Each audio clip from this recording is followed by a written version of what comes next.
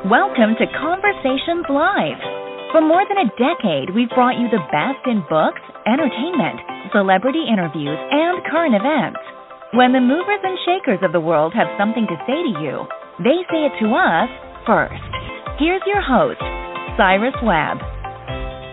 Welcome back, everyone, to Conversations Live. I'm your host, Cyrus Webb. Glad you all could join us once again. But for our radio audience tuning in at WYAD 94.1 FM and WYADonline.com, we're glad that you all could be with us. Also, tuning in for our friends at iHeartRadio and Amazon Music Podcast. We're glad you all could be with us as well. Well, I know the new year is just beginning, but if you're already making your travel plans for this year or thinking about a dream trip for the future, I think our next guest is going to really be interesting for you. For those who are looking for something different, the U.S. Virgin Islands offers some of the best beaches and resorts found anywhere in the world. And joining us to talk about it, as well as to share tips on how to make the best experience for yourself when it comes to visiting the islands, we're excited to welcome Joseph Boschulte to our program. Joseph is the commissioner for the U.S. Virgin Islands Department of Tourism. We'll talk to him not only about exactly where the U.S. Virgin Islands is, but also where you all can go for more information. Joseph, thank you again for the time. Really appreciate it. Hi, how you doing? Thank you for having me. I appreciate the opportunity to speak to all of your listeners. Hey, look, the pleasure is definitely all mine. And it's it's interesting when I first mentioned I was going to be speaking to someone about the U.S. Virgin Islands. I got a question that I know you get asked a lot, Joseph, and that is exactly where is it and how how do you get there? So let our audience know that maybe they've heard about the U.S. Virgin Islands, but where exactly is it located?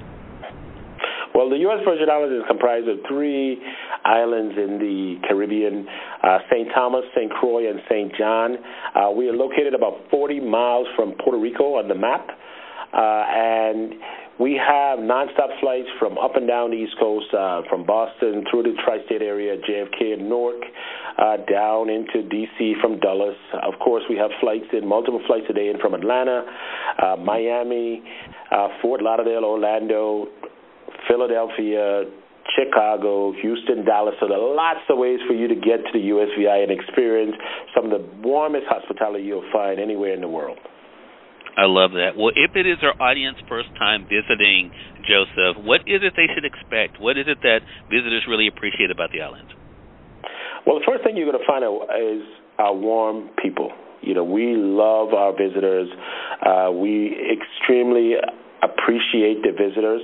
So you'll find that sense of warm hospitality.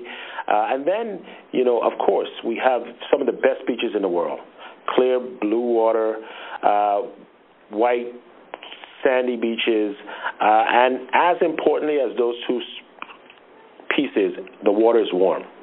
So at this time of the year, you know, our average temperature in the Virgin Islands is 77 degrees, and our water is still warm, so you can go swimming and enjoy yourself. Uh, lots of activities to do uh, on the marine side. We have a thriving marine uh, product where you can go on half day sails or full day sails. Uh, or if you choose to have your seven day or five day stay on the water itself, we have wonderful opportunities for you to stay on water. Uh, and then, of course, we have you got to eat. So we have wonderful cuisine, Caribbean cuisine, uh, that is highlighted by uh, the seafood options you could get uh, that come out of our waters uh, as we uh, do sit in between uh, two bodies of water, the Caribbean Sea and the Atlantic Ocean. So lots of wonderful cuisine to be had. Uh, and of course, as you mentioned, we have wonderful traditional hotel lodging, uh, and we have a huge inventory of sharing economy rooms uh, to be found on St. Thomas, St. Croix, and St. John. Well, I love that. And that is really great information to know, just especially about the weather for one, which is kind of crazy where we are, are broadcasting from right now. So it's great to know uh, what to expect there. So I do want to ask you though about something that a lot of people are looking for. Of course, they do want to travel, as you know, especially after the past uh, few years.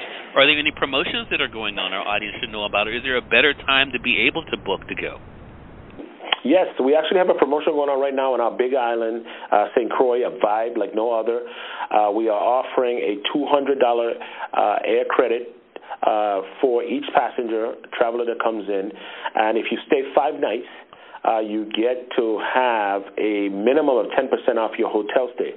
Uh, so that is $200 per traveler to the to St. Croix, uh, as well as a 10% minimum off your hotel stay uh, to come to our Big Island St. Croix, a vibe like no other.